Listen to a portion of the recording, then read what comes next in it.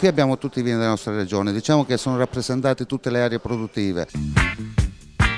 Tutti i vini della regione disponibili al mondo per essere assaggiati e conosciuti. Ad Expo, l'Enoteca regionale Emilia-Romagna, che rappresenta 160 tra piccole, medie e grandi imprese, è venuta con una carta d'identità del vino del territorio. Si viene per rappresentare comunque eh, la tua realtà produttiva.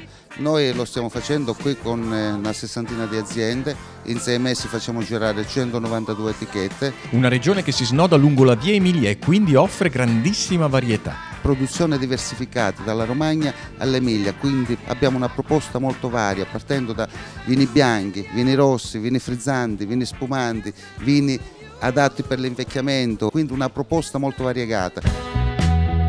E la sfida non era solo quella di portare a conoscere i vini della regione al mondo, ma anche quella di portare il mondo a conoscere la regione. Noi a fine giugno abbiamo portato 60 operatori da tutto il mondo che hanno incontrato le nostre aziende, valorizzando non solo il vino, ma tutto il territorio. Quindi questa era la grande scommessa, soprattutto la capacità di portare operatori nel nostro territorio.